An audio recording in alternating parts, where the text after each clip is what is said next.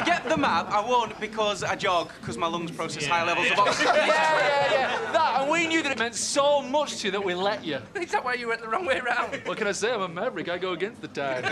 Hey, Neil, took Rothers with you. Yeah. Clearly screamed from the other side of the track. Well, whatever. Now that Mario's got his mushroom cup, we can get him wasted. Just a half. Of vodka, please. Why do stag do's have to be so elaborate these days? I mean, what's wrong with the night in the boozer with a stripper? Uh, no, don't be getting any ideas. Those days are well behind me. Uh, more's the pity. Right, I've told David that I want a classy evening, so we're not having a tart and a G-string.